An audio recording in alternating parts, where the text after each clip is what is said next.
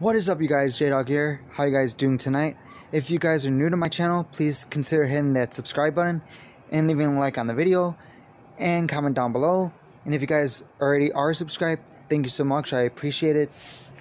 And also leave a like on the video. So in today's video, I'm going to be talking to you guys about this haunted park in Las Vegas, Nevada.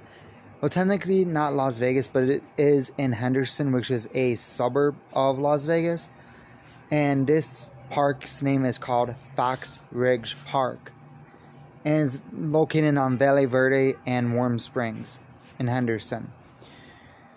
So, and I've seen this online real quick, and I've heard rumors. I don't know if they're true or not. And I'm trying to talk to locals, see if they know anything about this. But supposedly, a little boy was playing ball at this park long time ago ball went into the street and the little boy ran after the ball, got hit by a supposed drunk driver and was killed. And now he is said to haunt the swing sets at this park. Not the little baby ones, but the big head ones. And there's only two of them.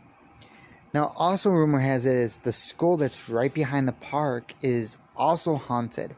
I don't know how true that is, but I know that the park is haunted. So, since I moved out to Vegas back in 2018, which was two years ago, I've gone to this park, I want to say four, maybe five times. I know I've gone twice by myself, and I've gone twice with family. And let's just say that the first time I went, nothing really happened.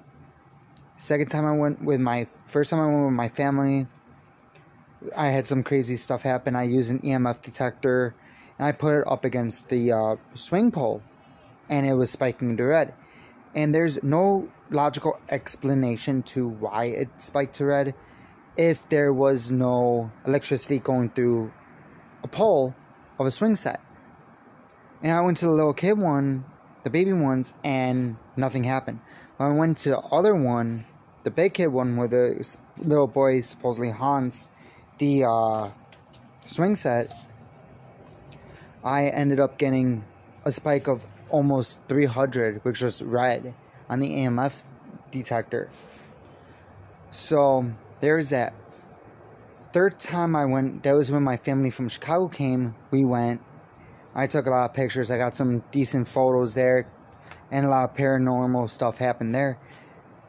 And the last time I went was about a week and a half to two weeks ago, and I did about a hundred still shot photos 6570 with flash and then 2530 without flash. And there were five out of all those photos only five had something that showed up in the photos like uh, a mist type figure. And one photo in general actually freaked me out and it was between 50 and 55 so these photos i was doing with flash. And the first two of that that set of five showed up with Flash. The last two of that set of five showed up with Flash. The middle photo, the 53rd photo I took, I know Flash was on, but when I look back at the photo, there was no Flash. It was dark. But the two before and the two after had the Flash. So that made me think like, oh my god, was something actually here? When I was when I went with my family from Chicago back in early middle of September, when we went, I did catch a couple pictures with some mist around the swing set, which was surprising. But I am gonna add this uh, video at to the end of this video, and it was when we went to this park, and we were. I was recording when I was talking to my mom about something, I told her how with the videos that I take at that park, especially when I'm looking at the swings recording, how the uh, camera malfunctions.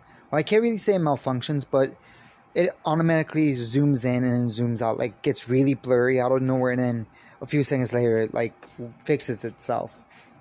So we were there, and after I was done talking to my mom about that, and I was recording it, my mom asked the question. She was like, "If there, if the little, if you or your little boy make the swing move right, now. And on the word now, my camera zoomed in and zoomed out. Like it went out of focus and it came right back. And I did not touch anything. So real quick, I'm just gonna show you guys. Okay, this is I'm gonna just zoom in on this video real quick. This is I can't even do it. Darn it. But anyway, but you know what I you know what I'm saying. So hang on. So yeah, I can't do it in um, selfie mode, but if I was doing in the other mode, I would be able to zoom in and out. But I was holding my tripod, so I have one hand free. I always have one hand on the side of me, and I'm I'm holding my tripod with my other hand. So that's what I was doing, and it just automatically like right on the word now, my camera zoomed in, went out of focus, and then came right back out. And I stopped the video right away because I was freaked out. And I showed my mom. I'm like, "Oh my god, mom, you gotta see this!" And she was like, "What?" I replayed the video for her, but I didn't play the whole video. I only went to that ending part of the video, and I showed my mom what it was, and she couldn't believe it. She's like, "Oh my god, that's freaky." So, yes, I'm into paranormal stuff. In that park, I have gotten some decent stuff, and I'm definitely gonna be going back there once I get better equipment, I am going to give me an E2 reader, which is a EVP reader, which basically checks like electronic, uh, not EVPs, but that's electronic voice phenomenons. But um, it's going to be a, a machine where you just use it tells you if there's electricity around or whatnot. So I'm to do that. I'm to get one off of Amazon probably within the next week or so. Once I get that, I'm to go to the park that I can record and show you guys what it actually does when I'm there. But this park, honestly, it is freaky. I've never gone during the day, so I don't know how much like paranormal stuff happens during the day. But when I went like a week and a half to two weeks ago, it freaked me out because it was eight o'clock at night, and I was getting a lot of like good like hard evidence that this place is haunted. When me and my family went, when my mom, dad, and brother came in from Chicago back in September, I got decent evidence, and this was around 11:30, 12. And supposedly, this little boy haunts the swings at around midnight. The very first time I ever went to this park was around 3, 3, 3.15 in the morning, and that was when I was working nights at work. And after work, I went straight to the park, wanted to do an investigation, see what was happening, and nothing really showed up. I was going to wait until 3.33 and come back, and see if anything happened, but obviously didn't go back. So, one of these days, I'm going to do an investigation late at night over there and hopefully see how it goes. I'm honestly planning on maybe going there Halloween, October 30th, over into October 31st.